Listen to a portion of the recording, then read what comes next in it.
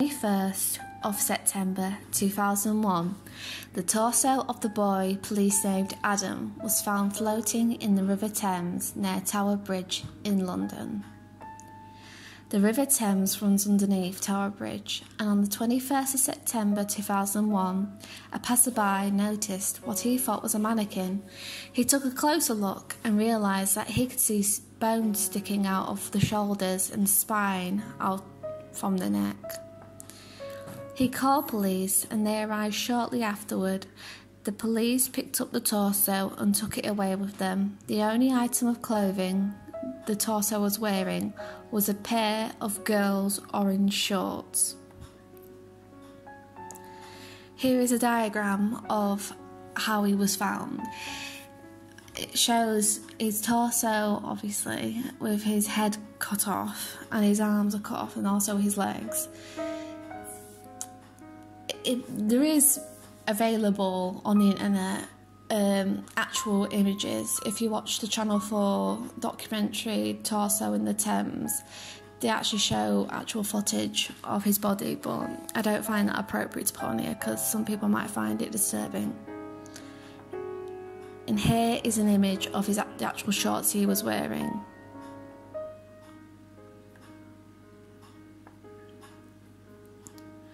A post mortem showed he was between the ages of four and seven years old and how he had died. He was poisoned and he had had his throat slit and then he was drained of his blood. His head and limbs had been removed with expert precision. There was significant bruising to the neck and the voice box had been cut out. The skin was removed off the limbs and the neck before amputation. Due to there being no blood found on the shorts, investigators believed that they had been placed onto the body 24 hours after death. Further testing on his stomach contents and trace minerals in found inside his bones were able to show that he had only been in the UK for a few days before his murder. Looking at the results from these tests, it is believed he was most likely from the region of southwestern Nigeria near Benin City, which is known to be the birthplace of voodoo. Investigators on the case suspected that he had been trafficked to Britain for the sole purpose of being a muti, muti killing, which is a ritual sacrifice that is performed by a witch doctor. They use the child's body parts to make medicine, medicinal potions called muti. Police were surprised after the discovery of the body that there was no one coming forward to report a child missing or any cases that a child was absent from school. This led to the police searching databases of missing children in Britain and Europe, where which was searched by investigators, but as they were unable to find a match, they appealed to the public for help. In a press conference, Commander Andy Baker of the Met Police spoke about the boy. We have not identified the child, and consequently, we have taken the unprecedented step of giving him a name. It's Adam. Until his family is identified, we will. Oh, sorry. We will act as his family, and his community will be the community of London. We are committed to doing everything possible to catch Adam's killer. The girls' orange shorts found on Adam were manufactured by a kids company and were only available in Woolworth stores in Germany from May 2001, giving only a window of six months for the murderers to have purchased them and to be located in Germany in this time frame.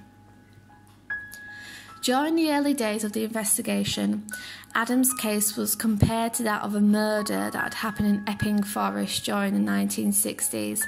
A young black girl was found dismembered in a similar way to Adam. No one was charged for her murder at the time, but it was circulated with rumours that she had been murdered in an African ritual killing. A 13 day search of the River Thames was conducted and on the last day, which was the 13th of October, a bundle was found floating on the surface. It was a plastic sheet that had been wrapped up, and inside it contained seven half burnt candles. The sheet also had a name written on it three times. I might struggle saying this because it's an African name, so I'm sorry if I mispronounce any of it. Adio, Aid, Aid Kogio, Fola Adio, and believed it was either related to Adam and his murder or another ritual killing. The police were able to track down a man by this name who was able to explain that his sister had performed a ritual prayer in his name to protect him, and for the prayer to work, she had to throw the bundle into the water. The police believed his story, ruled out the sheet being linked to Adam's murder. The police feel their trail felt their trail was going cold until a new lead from South African police came in the form of a similar murder that happened in their jurisdiction. In 1994, South African police found the body and amputated limbs of a six year old boy who had been a victim of a Muti killing. A South African pathologist, Professor Hendrik Scholtz, who worked on this case, came to London to see if they could see any similarities between the two cases. He said that the head was amputated in the same area on both bodies. They were both found near bodies of running water. He noted that they both were wearing orange, with a South African boy in an orange sheet and Adam in orange shorts. The investigation made little progress within a year, so London officials visited Johannesburg in South Africa to meet with Nelson Mandela. He made a public appeal asking for any information. The broadcast was shown throughout Africa and was even translated into tribal languages that included Yoruba, Yoruba? I'm not sure if that's correct, which was the local language for the region that Adam may have been from. London Met Police visited South Africa again in 2003 to talk with the detectives and Muti experts who worked in the South African Police Service's occult unit. The experts believed that the orange shorts Adam was found in meant he was murdered by a family member. The police then travelled to Nigeria, where they launched the campaign to find Adam's parents. However, despite visiting all elementary schools, and investigating all missing children within the region, they found no clues. On the 29th of May 2011, a report was released claiming that the torso was that of a six year old boy called Ikpomwosa after a TV crew tracked down a woman who once cared for him in Germany after his parents were deported back to Nigeria. Joyce Osaya Gerd, I'm sorry if I've, I've done that wrong, told ITV London tonight that she gave the boy over to a man called Bawa, who took him to London. Investigators believed this was the major breakthrough the case needed.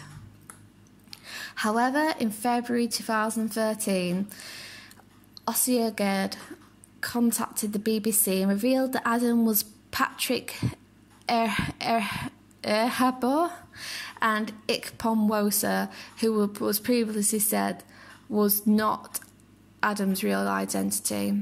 She revealed Bawa was Kingsley Ojo and had misidentified an image of a boy she'd given to the press, insisting it was a photo of Adam when it was a photograph of a friend's living son. I've not included the picture because I decided not to. But it's easily available online if you want to see it. It's, it's a little boy stood with, I think he's wearing a coat and he's looking straight at the camera. So just be aware that's not actually a photo of Adam because nobody knows the real identity of him yet. This led to the police doubting Osagerd's mental state, and thus any of her claims to identify Adam's real identity are not taken to be accurate. This led the police left the police with no formal identification of Adam. The Met Police believe the publicity of the case helped deter any future ritual crimes to happen in the UK. Possible links to Adam and his murderers happened in July 2002 when a Nigerian woman arrived in the UK from Germany who claimed to be fleeing from a Yoruba cult that practiced ritual murders. She claimed they tried to kill her and her son, and she knew. Oh, sorry. She they tried to kill her son, and she knew Adam was murdered by his parents in London. The police searched her flat and found orange shorts with the same clothing label as those found on Adam. She was sent back to Nigeria in December the same year. The police conducted surveillance on the women's associates, and this led police to another Nigerian, Kingsley Ojo, the same man Osajerd had made, had said took the boy she was looking after in Germany and who she believed was Adam. The police searched his home and found ritual items, but none of the DNA found matched was of Adam's. In July 2004, Ojo was charged with child trafficking offences and sentenced to four years. As of June 2018, the police had been unable to identify Adam and or his murderers. The police only know where he roughly came from and that he'd been in the UK for a matter of days slash weeks. He was black, between the ages of four to seven, and originated from the southeastern region of Nigeria. If you have any information regarding this case, please contact the following Met Police on 101 or Crime Stoppers on 0800 555 111.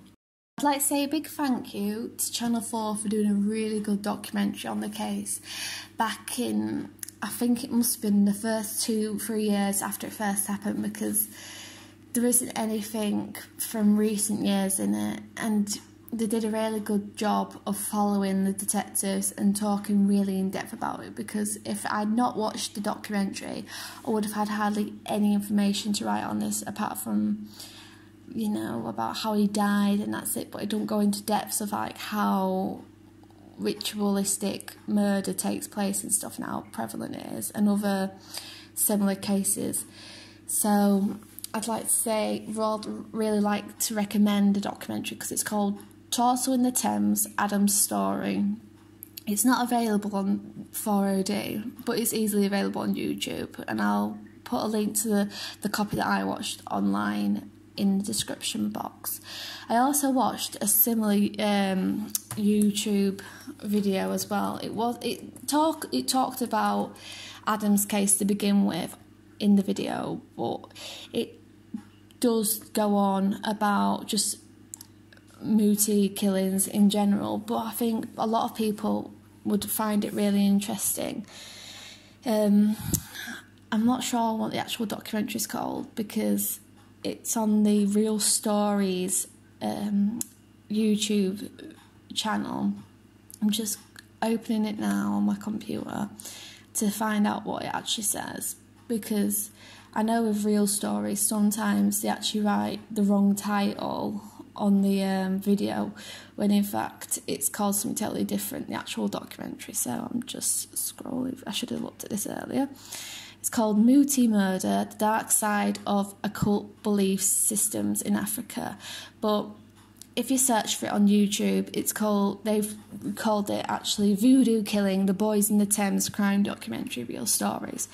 But that's misleading because literally it's only about the first ten minutes is about the Thames uh, about Adam really.